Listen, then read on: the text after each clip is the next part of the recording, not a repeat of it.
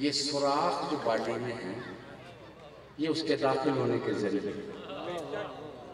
दोनों आँखें, कान, मुँह, नाक सतर ये बंदे के अंदर हराम के ज़रिए दाखिल होता है।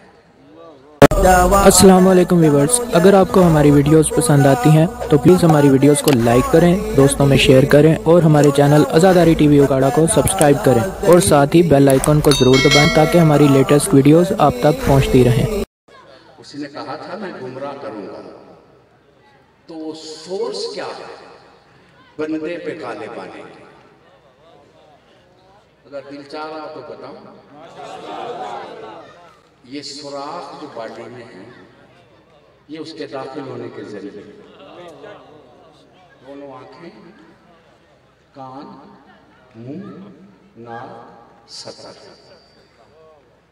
ये बंदे के अंदर हराम के ज़रिए दाखिल होता है। कोई सुन, समझ रहे हो जी? कि ओए हो नहीं करा तो कोई समझ आवे नहीं हराम के ज़रिए मसलन आँख को जिधर नहीं देखना, उसने मना किया। जो देखेगा, ये दाखिल हो जाएगा।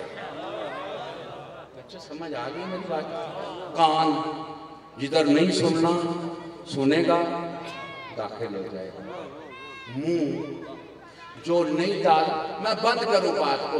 हराम के ज़रिए दाखिल है इसका पुलिस का बंदे पे कंट्रोल करने का रास्ता हराम है। किसी बंदे कोई दाद नहीं दी मैं तो तुम बड़ी कम निकल दसी लेकिन मैं तुम आम गल नहीं दसी हराम के ज़रिए दाखिल होता बच्चों जरा समझना, हराम के ज़रिए ये दाखिल होता है। और मेरे मालिक ने फरमाया कि जो 40 दिन रोज़े रखे ना ना 30 दिन माह रमज़ान के रोज़े रखे, उसके बदन से हराम खत्म हो जाएगा। कितना कितना जनाब नसीब है हमारा। क्या खत्म हो जाएगा? ਜਿਹੜੇ ਨਾਂ ਹੀ ਨਹੀਂ ਲੈਂਦੇ ਤੁਸੀਂ ਤੁਹਾਨੂੰ ਕੋਈ ਪਰਵਾਹ ਹੋਵੇ ਤਾਂ ਤਾਂ ਹੈ ਕੋਈ ਆਰਾਮ ਨੂੰ ਵੀ ਬਿਮਾਰੀ ਸਮਝੋ ਤਾਂ ਤਾਂ ਹੈ ਓ ਯਰਕਾਨ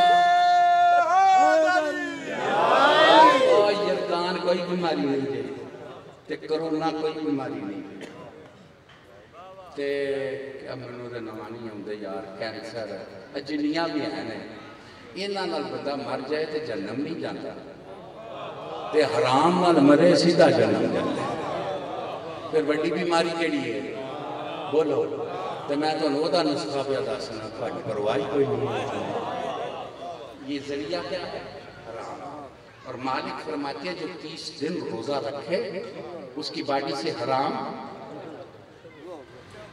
उन कितने दिन हो गए तो हिम्मत कर आज ये त्री दिन रखने हैं मेरा ख्याल है किसी वक्त जाया नहीं करने लगे। क्या खत्म हो जाएगा?